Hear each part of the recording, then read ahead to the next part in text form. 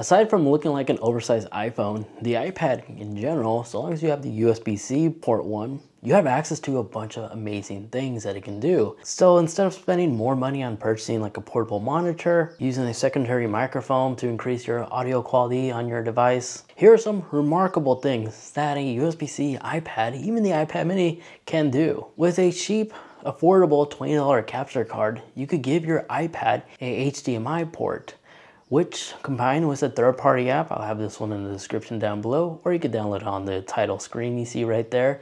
This app allows you to use your iPad as a secondary monitor. As you see, it does have an HDMI. And I've used portable monitors in the past, and the only drawback to these is not only are they not crazy expensive compared to an iPad, but they're almost half the price, especially like the iPad mini but they don't deliver the high resolution quality as well as the brightness that we all know and love, especially comparing it against an iPad. But this HDMI allows us to utilize the brightness as well as the resolution quality of the iPad that you're using, which should allow you to play games or use this as a secondary monitor if you're connected to a computer. And since this is hardware, with an iPad Pro, you could easily utilize the 120 Hertz refresh rate that it has. And for my user experience, I know this depends on the app as well as the capture card, but I personally never noticed a annoying latency issue when it comes to gaming and playing competitive multiplayer games by having this setup like this using an iPad, especially since an iPad already is in our inventory for college students or places that you have like limitations in terms of like space. It's actually really easy using this as a secondary monitor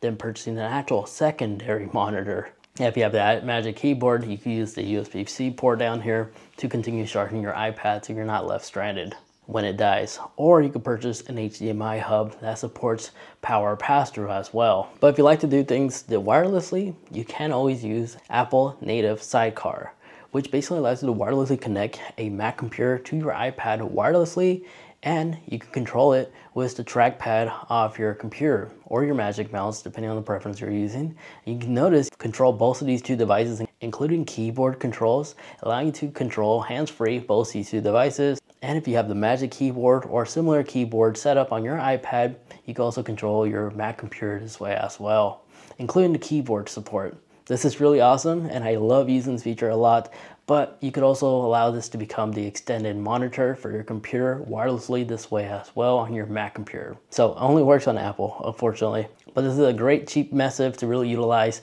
a high resolution display without spending a lot of money on a gaming monitor as an example. Now the beauty about iPads was USB-C. If you don't have an iPhone that has a USB-C capability, a thing that I like doing a lot on my iPad is using it as a portable hard drive, flash drive, thumb drive, whatever your needs is. If you have storage available on your iPad, you could click and drag drop files from your iPad to your computer. It's a much more quicker method than traveling with a bunch of like flash drives in my opinion.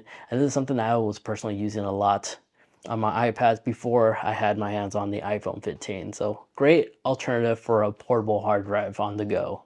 But of course, best results if you use an Apple computer. So depending on the iPad you have, but the majority of iPads, um, the front-facing camera isn't really always the best resolution or the best quality to do professional calls if you need a high quality front-facing webcam for like FaceTime or Skype. But thanks to that USB-C port again, you could just use a third-party wireless webcam, or I mean wired webcam, I wish wireless exists, and just quickly swap your front-facing camera with something better and more professional. So you have that freedom. In addition to that, you can also do the exact same thing with audio quality. You don't have to be stuck with the integrated microphone that the iPads have. Even the iPad Pros actually see much benefits upgrading to an actual professional style or better quality microphone, I should say, than the existing built-in microphone. Here's a sound example how they sound like. As this is how the integrated microphone sounds like with the iPad Pro latest model. And if I go ahead and plug in like the DJI mic, it sounds like this.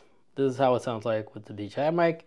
And the beauty about this microphone is I could have two mics connected at once ideal for like podcasts or interview situations. So something simple like even the DJI mic can actually be compatible, fully compatible for any audio microphone needs off your iPad. And if you, again, if you run out of ports, you can always just get a USB-C hub.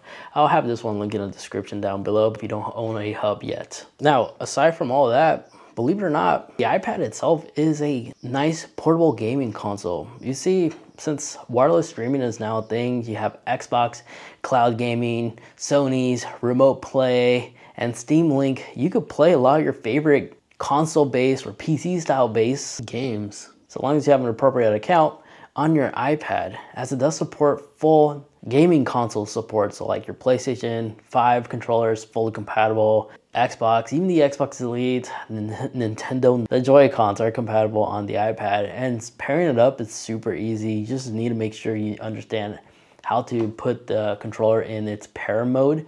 I'll have links to some examples in the description down below, but with the Xbox, you just hold down the sync button on top, as well as the Xbox home button on the controller until it starts flashing and pulsing. That means the controller is in pair mode. You can simply just go onto your iPad, Bluetooth settings, search for it, and you'll be able to connect right there. And this is Apple supporting these third-party controllers. As you're gonna see, all your functions, your common controls on the controller is all right there. It just works perfectly fine. No need to download like third-party apps or anything like that, or third-party adapters to make it work. So because of this, I've been able to use this as a portable gaming console, especially while I'm traveling. And then you have game emulators as well that could take full advantage of this as well. So you can play your retro games on your iPad itself without having to rely on internet connectivity. One of the few many different usage you could get out of the iPad for gaming. Now growing up, you know, we all have to scan a document. The old method is just to print it out and then sign the paper right there and then scan it and then send it as a PDF file. So you see with this paper that we just printed out, this is a fine example. One method of doing this is by simply unlocking your iPad. Then when you go into the folder app, I'm sorry, files, click on here. What I like to do is click on the iCloud because this will be automatically synchronized on my Mac computer as well, as well as my other Apple devices. And just long hold on a blank section like this and where you see scan document, click on here and then just go ahead and step back and scan that document and then tap save.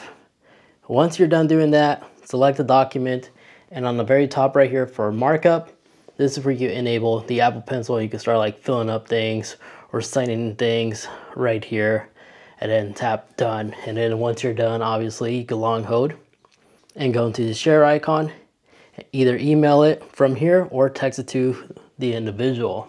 But instead of having to print out the paper, a cooler method, cooler by cooler, I mean like saving ink and paper and not using your printer, is look for the file that you're trying to print out or sign. But on the top arrow right here for sharing, go down and select save to file. Select the location. Again, again, I like using the iCloud just for that benefit. Save it from there, go back to your file, locate it, tap on it, tap markup, and begin filling up everything right here. And once you're done, just go ahead and tap the up arrow to share it to email, text message, and etc. And that's how you can professionally sign documents without having to have the physical paper or just save the file, the PDF on your iPad and just start editing like that. And yes, you can also use the Apple Pencil, but not everybody has access to the Apple Pencil. The finger is easily the next best thing. And there you have it. Now you know how to really use your iPad to its full potential or show friends and family some clever things they probably didn't know about that they can do on their iPad. But now make sure you are protected and secure your device from easily being stolen. So I highly recommend adjusting a couple additional settings to maximize the security settings on your iPad to prevent that from ever happening. I go more into detail in this video over there. Thank you so much for watching.